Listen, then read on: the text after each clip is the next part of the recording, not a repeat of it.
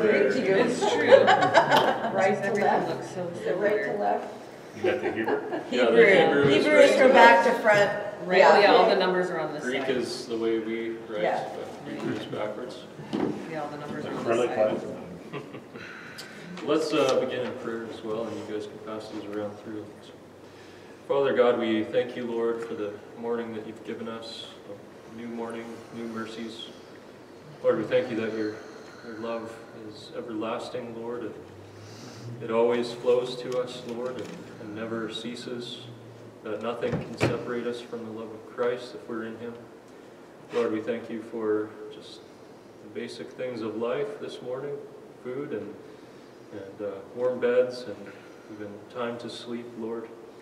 We ask that you would just continue to be gracious to us, Lord, as we look to your word and consider this subject of how your word was uh, transmitted, Lord. Give us wisdom, give us help, give us understanding, Lord, that we would have our faith even more confirmed and, and encouraged. We ask in Jesus' name. Amen. Amen. Okay, so, uh, yeah, continuing in bibliology this morning, the doctrine of Scripture. And I thought just uh, because a couple things came up last week, I wasn't really going to go in depth into this, but then as I thought about it more, I thought this is absolutely important to talk about. And so what we're going to talk about this morning is basically the manuscripts of the Old and New Testament and um, textual transmission and even textual variants. And there's so much I wrote this week that uh, it's going to take two weeks to go through it, so I've broken it up. Um, some of the really interesting stuff is going to be next week, but we'll, uh, we'll also see some pretty, pretty neat stuff this morning. So um, this is maybe not going to be as engaging as a talk by James White or some scholar like that, but um, and, and this is an area of study that is so deep, um, and it's so the people who work in this field are so specialized, have so much expertise that I'm just I'm talking as a lay person here, really. So um, let's just kind of get into it. When we talk about the Old Testament, of course, the original um, books of the Old Testament were written in Hebrew. You can see kind of a copy of the Hebrew there, that really thick volume Ken has in his hands right now. And uh, it's written backwards, as, as some of you have noted, write. There's a, a long history of the transmission of the, the text of the Old Testament because um, those original copies, of course, were written down by the prophets, but then they had to be kept up and copied over time. And we, one thing we have to know right away about uh, the Old Testament and New Testament is we don't have the original manuscripts, which they call the autographs. We don't have those anymore, right? Um, think of a book even from like 200 years ago. Um, it's going to be dusty. It's going to be, you know, pages are, are fringed and um, it's hard to find a book from even 100, 200 years ago that's in prime condition, right? So over time, all of the materials that people write with, they, they disintegrate, right? So, so we don't have the original autographs, but we do have the original text of the Old and New Testament, because that has been preserved by scribes and people who repeatedly wrote these things down and so we have a reliable transmission of the original text. Okay? That's what we have to assert at, the, at the forefront. So when we talk about the Old Testament in particular, it's a little bit different when we talk about Old and Testament. We have a long history of what's called the Masoretic text with us. Uh, so the Masoretes were trained Jewish scholars, scribes who um, wrote the manuscripts um, they uh, copied manuscripts and they preserved the text. And they were very highly trained. They were very, very careful. Uh, once they wrote a page of the, uh, the Old Testament, they would actually count every letter to make sure it had the exact number of letters that were supposed to be on that page. So they, they copied meticulously, and we still have Masoretic texts with us today. So the earliest we have is from 920 AD, the Aleppo Codex there. It was unfortunately partially burned in 1947. The building it was in was burned and, and it got damaged. And so they used to have a, a fuller text there, but uh, it was partially burned. Um, the, the oldest complete manuscript we have of the Old Testament by the Masoretes is from 1008 AD. Okay? And uh, these all are preservations of that Masoretic text, that Masoretic tradition, these scribes that repeatedly copied the Old Testament throughout history. And it's incredibly reliable, um, and we do have even some of these ancient copies from about a thousand years ago, and more after that, right? So these point back to what we might call a proto-Masoretic text, they call it, just preserving that Masoretic tradition. What we also have from an earlier date is the Dead Sea Scrolls. This was a huge discovery in 1946 to 56. They kept discovering in these caves uh, near the Dead Sea. There were several caves, seven to be exact, um, where there were ancient manuscripts preserved um, from the 3rd century BC to the 1st century AD. So these are extremely old uh, documents, and they contain the oldest copies we have of many Old Testament books. Okay, so that was a very important uh, discovery, and comparing those with the, the uh, Masoretic texts, we've seen just how reliable that transmission is. We also have what's called the Septuagint, or abbreviated as the LXX. Uh, this is the Greek translation of the Old Testament from the 3rd century BC. So we had many copies of that from early time. This was the Bible even the apostles were often familiar with. Um, they quote from the Septuagint in the New Testament often. So if you read the book of Hebrews, for instance, we went through that uh, a couple years ago here, and uh, we noted a lot of times where they would quote, and it was this translation in the Greek of the, uh, of the Old Testament. Some of these translations were more literal, word for word. Some were a bit more free. Like if you think of English translations today where, you know, the NASB or NKJV, these are very literal word for word translations. Um, you get further over to like the NLT, that's a bit of a freer, trying to put into uh, modern common idioms and English just to make it clearer, thought for thought, not necessarily word for word. So there were some differences in the way that some of the books were translated in terms of their philosophy, literal or more free, but it was, a, a again, a faithful um, translation of the original text. So, so all of these taken together, what we have in the Masoretic tradition, Dead Sea Scrolls, and the Septuagint, plus others, there are there are various other manuscripts that we have from early dates um, in different languages even. There's some, some in like Syriac, for instance. Um, yeah, this is not my field of expertise, but I've been listening to stuff on this.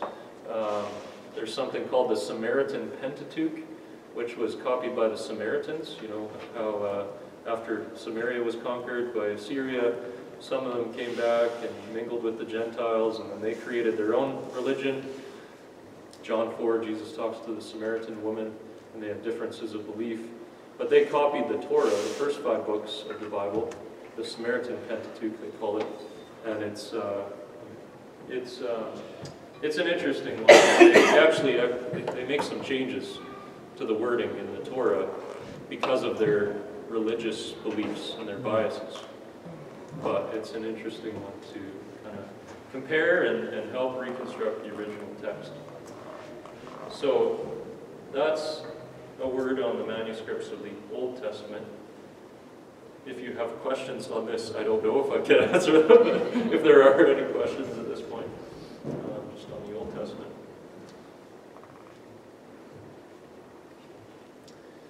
Do a slide on the New Testament now. So, the case of the New Testament, it's a little bit of a different case. Um, we have many, many, many, many, many manuscripts. We have over 5,000 manuscripts. The most recent count is um, something like 5,800 manuscripts, ranging from about 113 AD through the centuries. And this is unheard of for, for any ancient document. Um, I had a slide last time actually where we can run back to that quickly. Yeah. This is a list of some ancient documents and the number of copies that we have of them from an ancient time, and yet um, a lot of these, the earliest copy we have of them is, you know, like a thousand years difference from when they were written. Um, so for instance, Plato's writings, we have seven ancient copies, earliest from 900 AD, but it was supposed to have been written in 400 BC. So there's a really big gap um, and very few copies. But when you look at the New Testament, the story is, is completely different. Because we have 5,800 manuscripts, and uh, the earliest one is from about 113 AD, they estimate. There are four main types of manuscripts. Um, papyri are the earliest. These are put on papyrus, which was uh, a paper they made out of papyrus reeds. And they would stamp them together and, and so on and so forth, and, and then they'd write on them. So that's the earliest kind of form of writing we have. So you'll see that the earliest manuscripts we have are on papyri. And then there are uncials, which are documents that are written in capital letters on parchment, and the papyri are also in capital letters. Um, it's kind of interesting. So you look at the uh, Greek New Testament I passed out there, I'm not sure where it is right now, Right the here. blue cover. You'll notice it has uh, capitals and lowercase letters. That's how we study and read Greek today. But the earliest manuscripts only had capitals. And they didn't have punctuation. And so uh, words would just kind of run together in these uh, capital letters and um, makes it harder to read because most people who learn Greek today, well, pretty everyone learns Greek today, like the Greek I learned in seminary, we don't just focus on the capital letters. In fact, we don't focus on them much at all. And so I'm fuzzy on which capitals are which actually. Um, but we, we, we read mostly in the, what's called the minuscules or the lowercase letters. But those early manuscripts were different. And uh, so there's, papyrus was the earliest writing instrument. Then you had um, mostly parchment being used for a long time. That was uh, like deer or, you know, different cattle, different skins of animals they would stretch out and make into a kind of paper. And then, uh, again, they were writing for, with uncials, capital letters for many years. The later manuscripts we have, they started using minuscules. They started using lowercase letters in addition to the capitals and put in punctuation and spaces and all of that to make it easier to read. A fourth category of what we have is lectionaries, which were worship books that contained scripture readings. Think of, uh, you know, I on a Sunday decided to print out the scripture readings that were going on that Sunday morning. So we have those from very early that, you know, church fathers and, and elders would have used to, uh, to, to, to speak in their churches. And so those preserve the text as well. Um, many of the earliest ones we have are fragments. Okay, so the earliest manuscripts we have are, are usually fragments. Papyrus, again, doesn't last super well over time, um, but it is remarkable. We have so many of them even today. Um, so you'll often see, you know, there's fragments, you can't read the whole text or the whole page, but edges will be kind of cut off and so on. They're damaged in various ways. Uh, and so those are the earliest texts we have. Then you start to get, you know, complete books, and even then complete New Testaments, complete Old Testament and New Testament, what they call codices or codexes. Um, these large books that contain the Old Testament and New Testament, or the full New Testament. And uh, so they, they actually started, you know, putting, putting leaflets together, right, and binding them into books. So we have a lot of fragments, books, and collections from before the fourth century. The earliest fragment, supposedly, that, that we have, according to their, you know, it's an estimate on what, how they're dating, but they can, they can tell with quite a degree of accuracy within 25, 50 years when a, when a manuscript is from. So the earliest is P52, it's called, and it's from about 113 AD. It contains some verses from John chapter 18, I believe it is. Um, so that's the earliest. The oldest complete Old Testament and New Testament codices are from the 300s and 400s. Codex Vaticanus, Sinaiticus, Alexandrinus, and Ephraemi. So the, these are the oldest codices we have, and uh, particularly two of them, I believe it would be Vati- Vaticanus and Sinaiticus, are from the 300s, so they're the earliest. And so often um, scholars refer to those because they're considered the earliest and best manuscripts that we have of the complete Old Testament and New Testament. Um, but we also, like the Old Testament, we have other language translations like Latin, Syriac, so very old Latin manuscripts, Syriac manuscripts. We have quotes from church fathers, which a number of scholars have noted. You can gather the whole New Testament, minus maybe a few verses, just from the writings of the church fathers. So that also gives us great confidence that even if we didn't have all these manuscripts, we'd have the, the writings of the church fathers and we could reconstruct the text. Any questions at, at that point? Um, that's just an overview of the kind of manuscripts that we have. And new.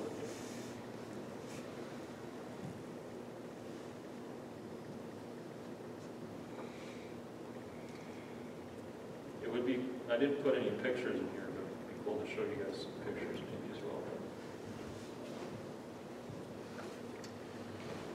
So, just talking a bit about the study of the manuscripts here. Um, As I said, there are experts in this field. There's a whole field of study dealing with these manuscripts. Scholars preserve these texts and study the wealth of manuscripts that we have access to to determine the original readings. Um, One guy you might want to jot down his name if you're taking notes is uh, Daniel B. Wallace.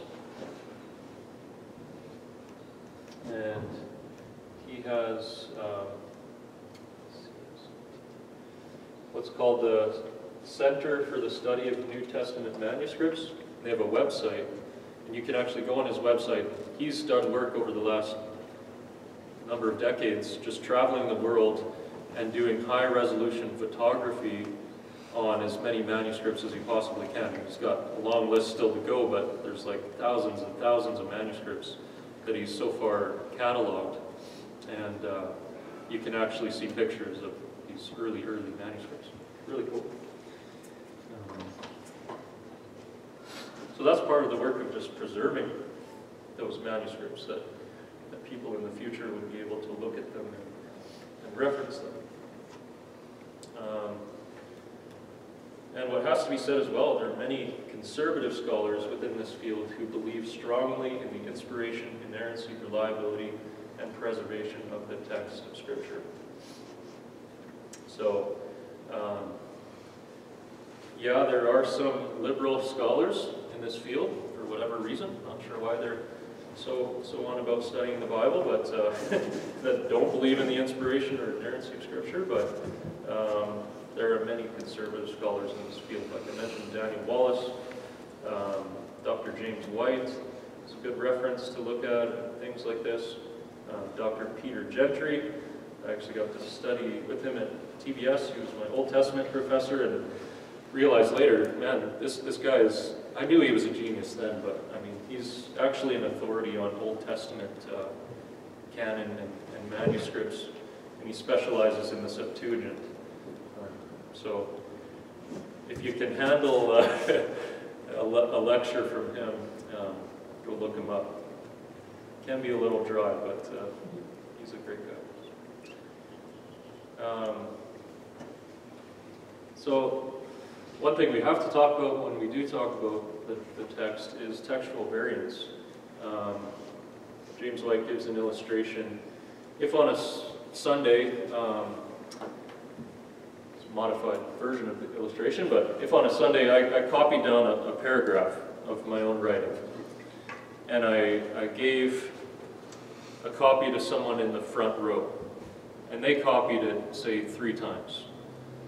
And then, and my messy handwriting, okay? and, uh, and then they passed those copies back to the second row and asked people to keep copying it and handing their copies back to the back row. Do you think that there would be some changes by the back row? Given the fact that human beings, we, we do make errors, right? And the fact that even my writing wasn't perfect in the beginning, um, someone might, what is that word? Oh, okay. And, and suppose you couldn't talk to the person in front of you, right? Or you couldn't run up to the front and ask me what I wrote. There would be differences by the time you get to the back. Now, what if some of those were damaged? What if we threw out half of them? What, what do we have then, right? Um, now, that's not exactly comparable to the case with the New Testament and Old Testament because we know we have just, just a crazy amount of manuscripts, okay? So we do have a wealth of resources, but that gives you a little bit of picture of how textual variants come into that tradition, right? Through various scribal er- errors over time, we do see variants come into the text. Um, but as we talk about this and just introduce this subject, a couple of things we should mention is that with the, uh, I guess speaking, yeah, both of Old, Old Testament and New Testament, but especially with the New Testament, we have what's called free transmission. The transmission of the text was not highly controlled, but was rather free game which is actually a very good thing for us. Um, if, say, there was one church, uh, you know, in, in the early church, and it was very cult-like, and you had to belong to this church, and, and they had all of the manuscripts of the New Testament, and they were tightly controlled and, and only copied by their scribes. Could we trust that as much as a free transmission of the text, where Actually, anybody could copy these things at any time, even lay people and trained scribes and, and all of this. And, and we have a wealth of manuscripts from a widespread area that was not tightly controlled. Because if someone controls the transmission of the text, well, they can decide, okay, actually, we, we want to change this here. We, want to, uh, we have this theological bias, and so we'll, we'll change this and that and the other. And uh, that's kind of what we see with something like the Quran, right? The Quran was actually tightly controlled, and earlier versions were destroyed, and it was preserved in the way they wanted it to be. Whereas with the New Testament, we have this very open and free transmission.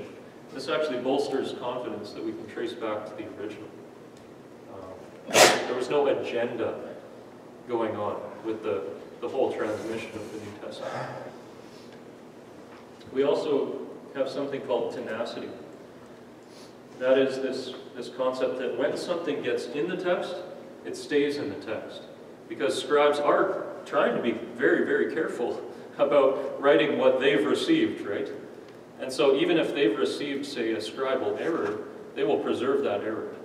And that means we can actually trace back in a textual family and see where it comes from to a common origin point, okay? So that actually helps the science of uh, textual criticism, is what you might call it. sometimes I feel like that's a bad term because um, sometimes it, it was criticism kind of gives this idea that maybe higher criticism or something, but that's not the case. Higher criticism is kind of a uh, liberal kind of school of theology, but um, textual criticism is what we call it. But there, there's a science to this, right? Tenacity helps us to understand the, uh, the textual traditions. I hope this is making some sense. I'm kind of passing on information from uh, people much smarter than I am. So. So, well, I'll just take Yeah. the, the Lord's Prayer, for example. It's longer Mhm. in the King James than it is in any of the newer ones. Mhm. So does that mean that some of that stuff was added at some point? For And they is put it in the kingdom, power, King the glory James and then they forever. had better, they had better tr- Yeah. manuscripts later and left that out? I assume so. I haven't looked into that particular instance, but maybe I'll do that next week as well. 'cause, yeah, that is a good, good example. Um, uh, more modern translations leave it out, right? They do. But they footnote it, um, so that likely means that with the wealth of manuscripts we have now, compared to earlier translations, that we found that that's not an original reading. Yeah. Mhm. And that's what textual criticism actually is, is that the more manuscripts they are and the closer they get to the original, the more chance you have of it being actually what was truly written. And.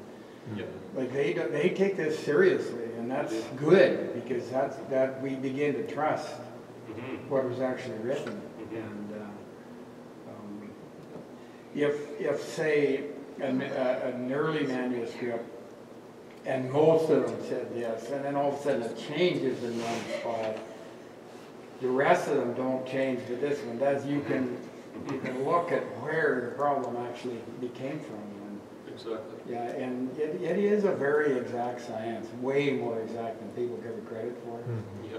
So how do we convey that to an unbeliever? Like, what I've been witnessing to people sometimes is say, you can't read Greek, or we can't read the earlier manuscript, so you can't trust the English. Well, there are many people who can. Yeah, I said you can. Yeah, and go learn it. If you're so concerned, go learn Greek. Or even like a Muslim friend of mine who said, well, your, your, your gospels would change to ask, well, how, which part, but he couldn't, he didn't know. Right. There- There's logical tests too, like, does it have internal coherence? Mhm. Is it consistent? Mhm. Uh, Does it have external coherence? Yep. Does it, uh, is there continuity Mhm. from one book to the next, to the next, to the next? There is. Yes, we'll talk about different variants and different uh, criteria for understanding these things.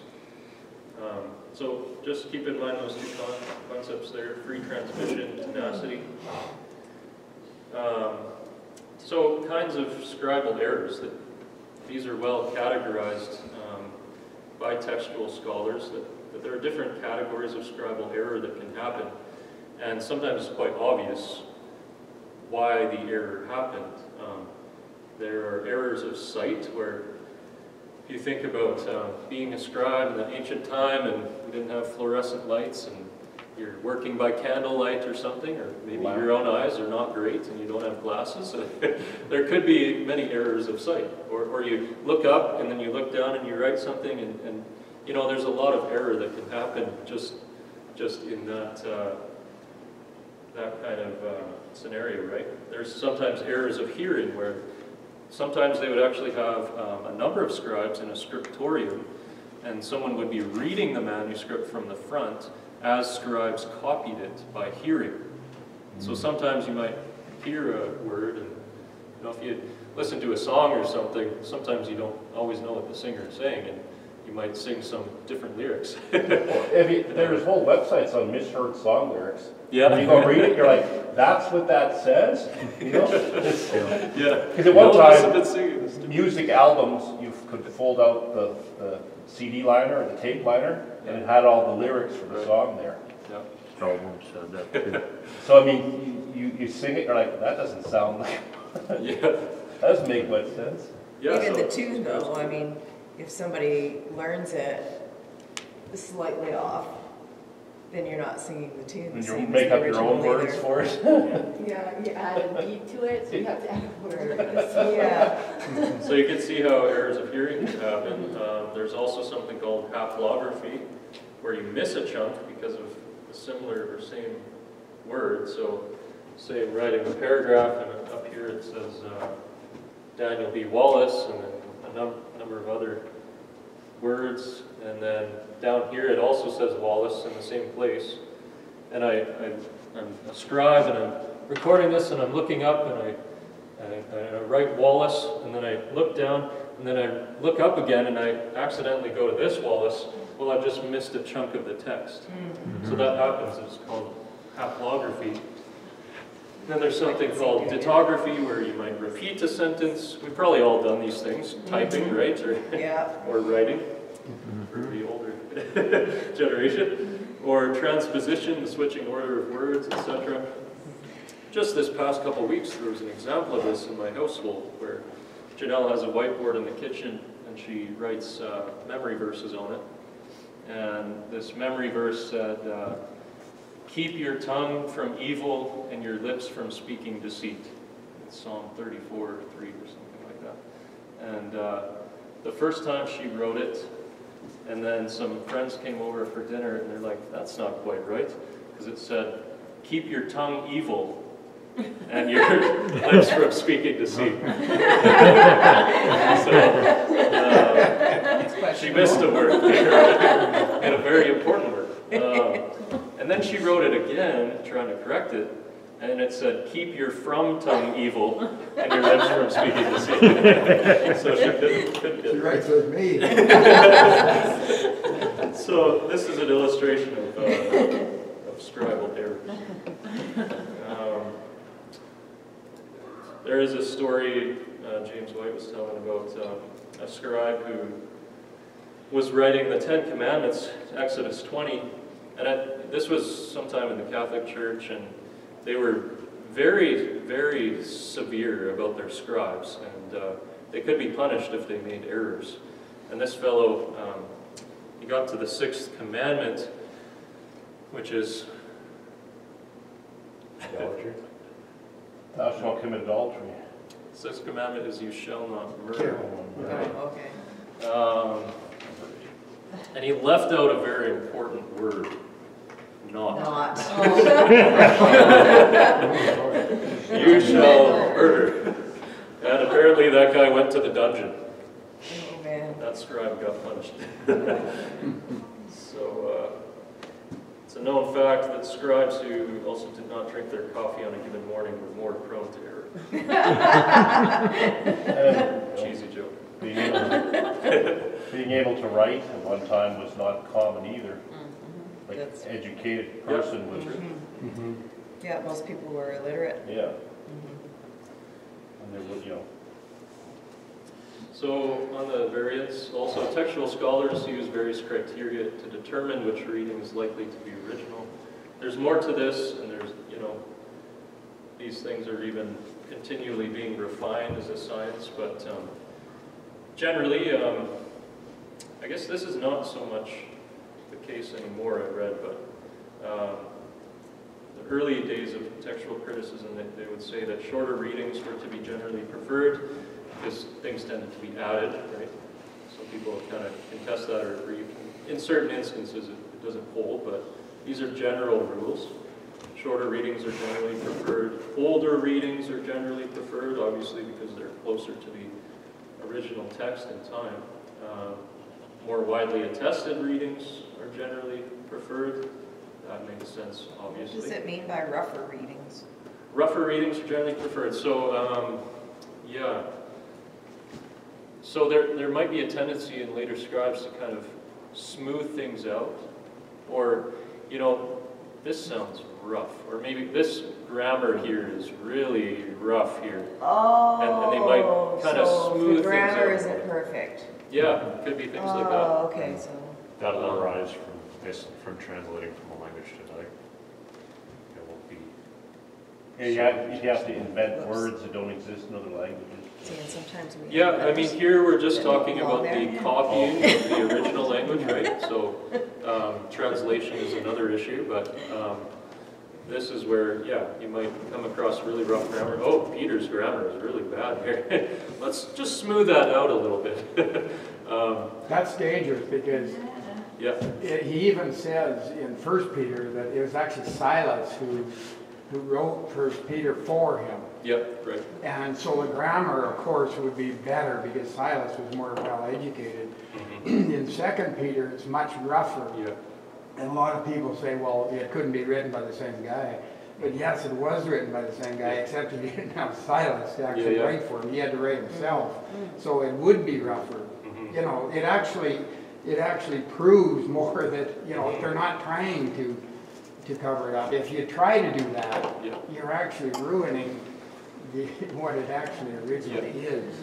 But again, you could see, um, again, by tracing these things back and seeing, okay, maybe this scribe was thinking he's gonna clean up a little bit of the grammar here. We can tell by the fact that there's a rougher reading that we also have and a smoother reading. So that's why rougher readings are preferred um, generally.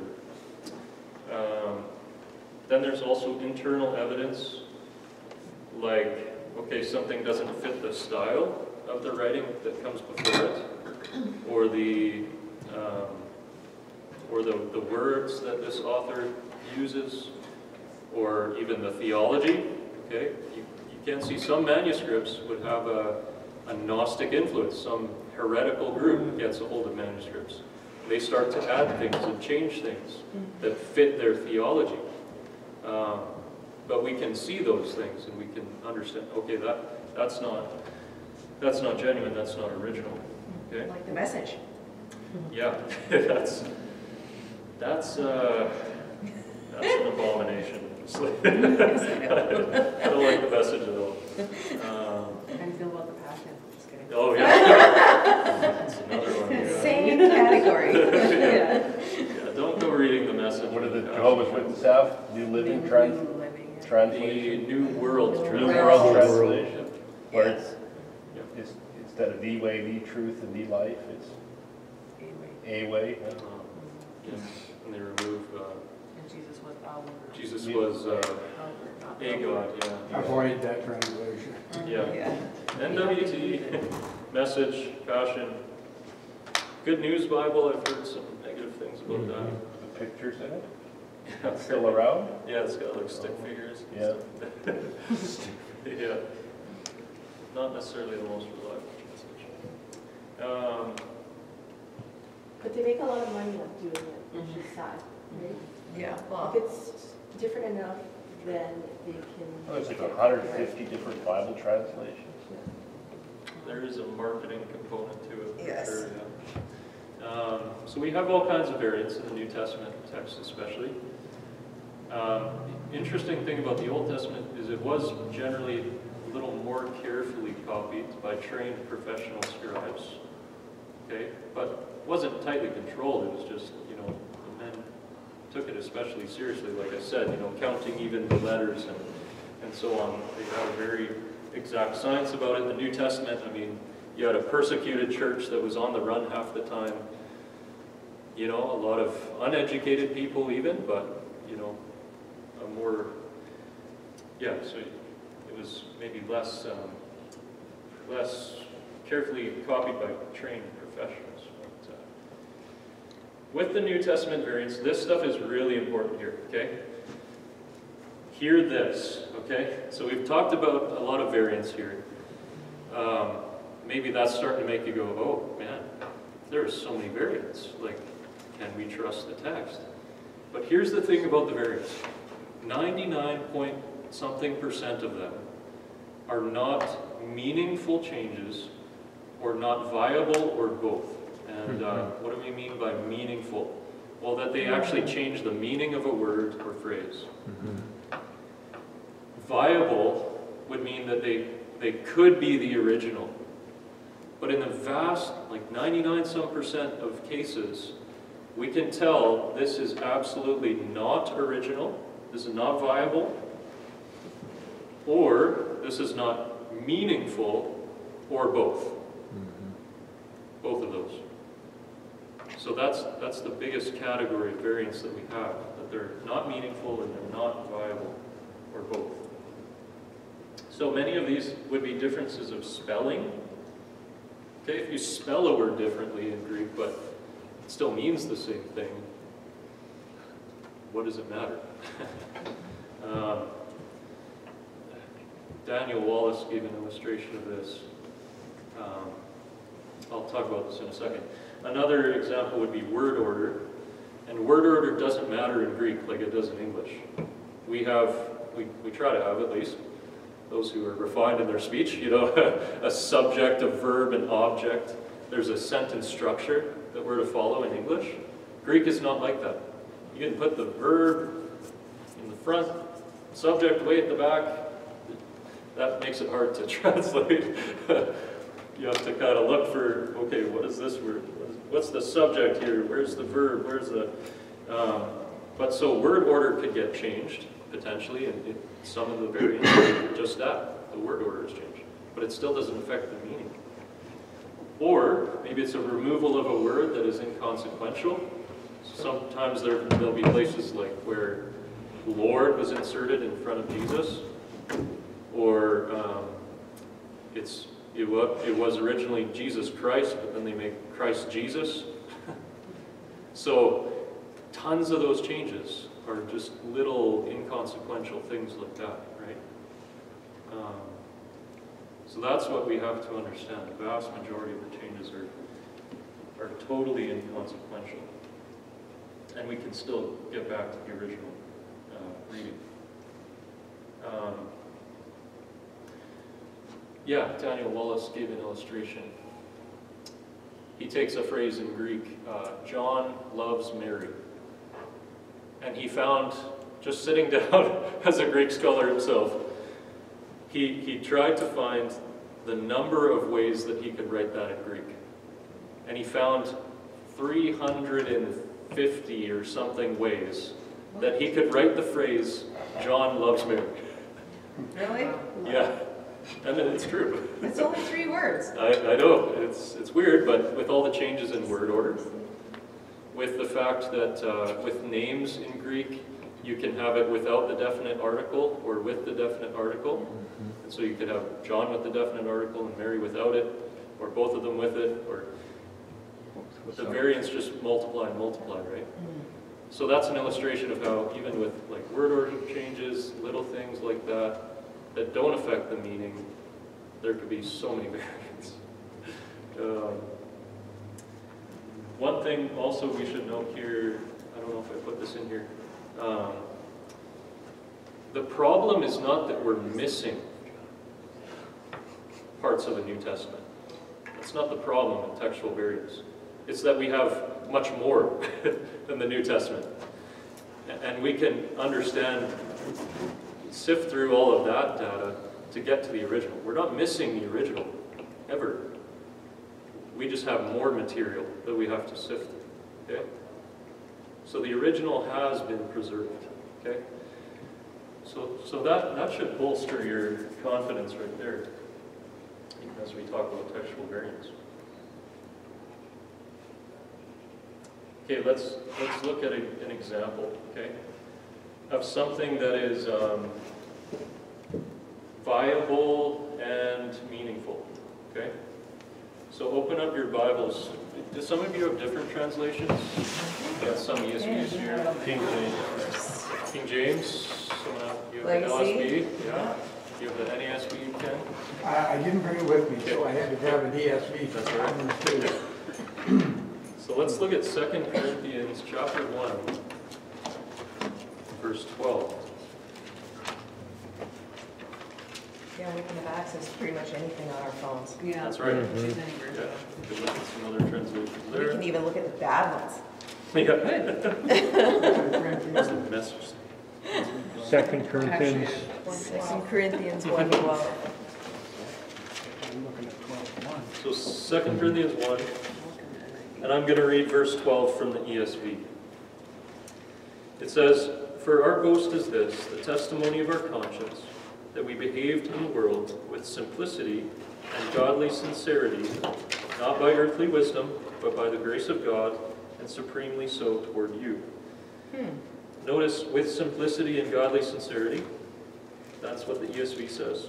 That word simplicity has a footnote after it in the ESV. And if you look down at the three there, it says, some manuscripts have holiness. Mhm, Mine does. Yep, And then he yes, has the integrity. LSB does. The NASB has holiness as well. Okay. Mhm. What does the King James have there? Uh, Uh, Second Corinthians twelve? No, one, One twelve. twelve. 112, The NIV has integrity. integrity and godly sincerity or something like that? Yeah. Interesting. If someone has the KJV, to read.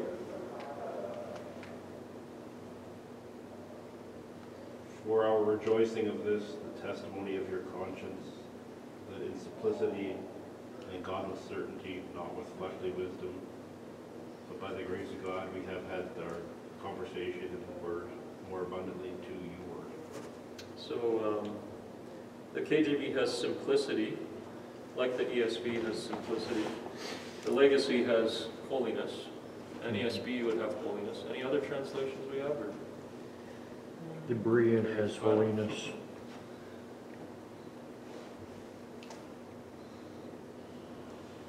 Sorry? The Berean has holiness. Berean? Yep. I haven't heard of that translation.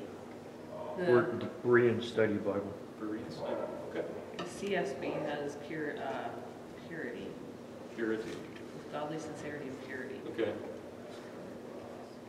Maybe an in-between, but, uh, so simplicity and holiness mean two different things, okay? Um, You know, related ideas, I guess, but uh, they mean different things, and the thing there is, there is a textual variant there, okay? So, um, simplicity would be haploteti in Greek, and holiness is hagioteti in Greek. You notice those words are similar, right? They sound similar, haploteti, hagioteti, they look similar. Uh, the endings are the same, the beginning is the same. And uh, so there's a difference there. In Greek, these look even more similar. This is what it would have looked like in the original Greek. Either it was this one on the left here, which is haploteti, or it was the one on the right, which is hagioteti. Even from a far distance, you probably can't see much. Maybe a little blurred, it looks exactly the same, right? Pretty close. Now, do you see how a scribe could have made an error here? Oh, yeah, sure. So which is the right one? It's a good question. Choose.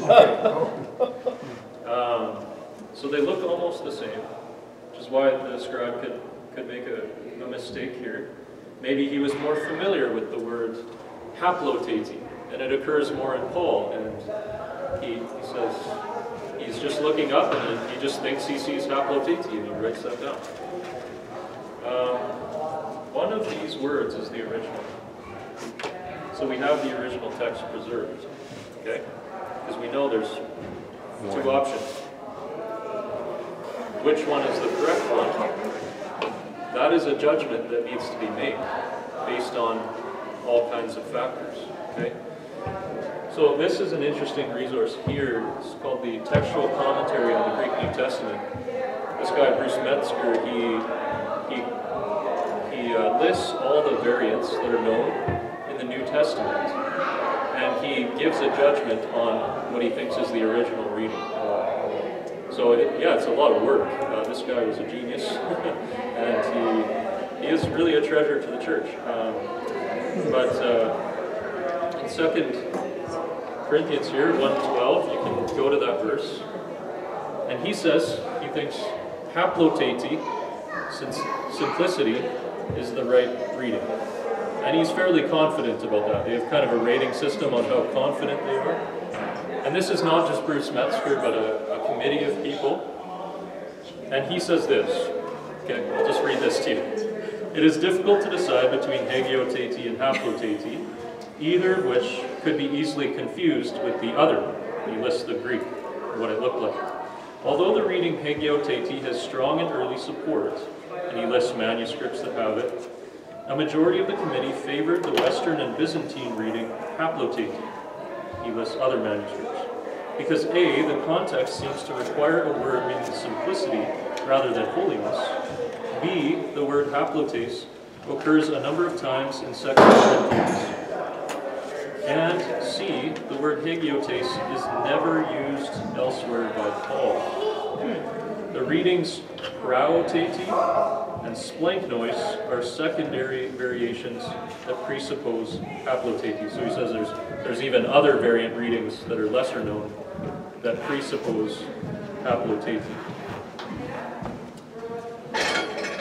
Now, he's mentioned there, hagioteti has some strong and early support in some early manuscripts. But, based on a number of other factors and, and this other family that, that favors the other, um, the other words, and because of context and Pauline usage, and some other factors from other variants, their judgment would be, they're fairly confident that the original reading is haploteti. Now, I've, I've looked at this one a few times and I'm like, again, I'm, I'm looking at this as more of a layperson. I don't know that all the ins and outs of textual criticism. I have to kind of sift through and look, okay, what manuscripts are they talking about? I have to do extra work to even understand their notations. Probably best for me to say, okay, that sounds reasonable. It's probably haploteti. But uh, at the end of the day, there are judgments to be made here, okay? Um, so, that's kind of where we're at with some of these things. We do have the original reading, okay? It is preserved, but there's still a bit of judgment that needs to be made sometimes. Does that make sense? But I, I do hope that that all encourages you regarding the Word of God and how we do have it so preserved. God has gifted us with teachers like Metzger and uh, you know other textual scholars and also pastors sometimes to help us through these things. Uh, so hope that is an encouragement. We should end there. And we'll look at some bigger, more interesting variants next week. Okay. Ken, you want to close us? Sure. Lord, we, uh, we trust your word. You are ultimately in charge of what you say. And we have to trust in that. You put it on the hearts of people that, um, that take this seriously, that take your word seriously. And all scripture is God. We really do see that. We thank you for it. Thank you for this teaching. And again, Lord, ultimately it's not about how much we know in our, in our head, but really in our heart. This is to go to our heart and change our lives. So more like you. We can be growing in the image We thank you for having and choose